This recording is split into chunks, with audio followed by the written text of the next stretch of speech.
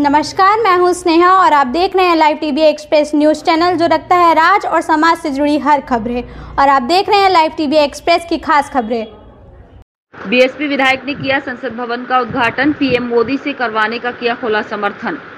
Bahujan Samaj party के इकलौते विधायक उमा शंकर सिंह ने शुक्रवार को नवनिर्मित संसद भवन के उद्घाटन को भारत के भारतीय भारत के प्रधानमंत्री मोदी से करवाने का खुला समर्थन करते हुए कहा है कि पीएम मोदी से उद्घाटन का विरोध करने वाले राष्ट्रपति जब राष्ट्रपति की उम्मीदवारी थी, तब उनके विरुद्ध प्रत्याशी उतारकर उनका विरोध क्यों कर रहे थे? बलिया के रसड़ा पहुँचे बसपा विधायक उमाशंकर सिंह ने रसड़ा नगर पालिका के नवनिर्वाचित बसपा अध्यक्ष विनय शंकर जायसवाल के शपथ ग्रहण समारोह में बतौर मुख्य अतिथि शिरकत की। इस दौरान मीडिया से बातचीत में बसपा विधायक उमाशंकर सिंह ने कहा कि हमारा विपक्ष और विरोध मुद्दों पर आधारित होना चाहिए। उन्होंने सवाल करते हुए कहा कि जो लोग अनुसूचित जनजाति की राष्ट्रपति से नवनिर्मित संसद भवन के उद्घाटन के मुद्दे को उठा रहे हैं वे जब राष्ट्रपति की उम्मीदवार थी तब उनके विरुद्ध प्रत्याशी उतारकर उनका विरोध क्यों कर रहे थे? उन्होंने कहा कि विपक्ष एक बड़ी ज़िम्मेदारी है विरोध के मुद्दे जनहित के होने चाहिए। राघवेंद्र कुमार गौतम की रिपोर्ट। क्या रहेगा? वो विरोध प्रदर्शन मैं करेंगे मैं कि- नहीं नहीं देखिए मैं आपके माध्यम से उन लोगों से, जो लोग भी विपक्ष में विपक्ष की भूमिका निभा रहे हैं, विपक्ष का मतलब होता है एक नैतिक ज़िम्मेदारी और मुद्दों पे मुद्दों पे आधारित हमारा विपक्ष होना चाहिए और विरोध होना चाहिए।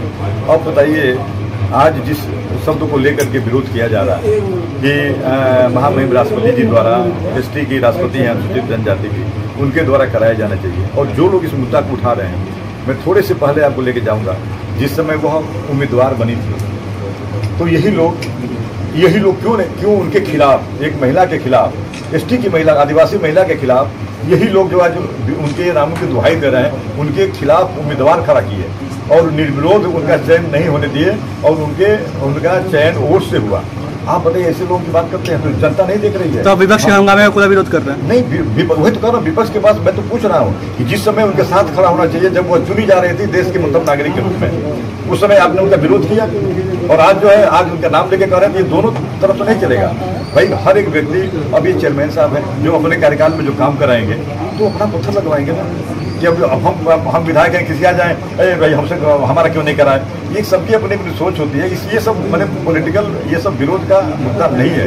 विरोध का जहाँ मुद्दा होना चाहिए, जनहित के बहुत सारे ऐसे मुद्दे हैं, जिसमें हमारा विरोध होना चाहिए। लेकिन यह कह करके कि राष्ट्रपति से कराना चाहिए मेरा आपके माध्यम से सवाल है कि जब महामहिम राष्ट्रपति का चयन हो रहा था उस समय आपने उसके खिलाफ उनके खिलाफ प्रत्याशी क्यों खड़ा किया?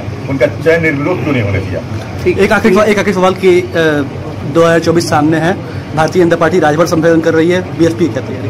देखिए ये लोग जब इलेक्शन आता है तो ये सारे जातिवाद भारत बहुजन समाज पार्टी सर्व समाज की पार्टी। और बहुजन समाज पार्टी में सीधा नारा है जिसकी जितनी हिस्सेदारी उसकी उतनी भागी तो ये थी live TV express news channel की कुछ खास खबरें। इसी तरह चुनिंदा खबरों से रूबरू होने के लिए देखते रहिए live TV express news channel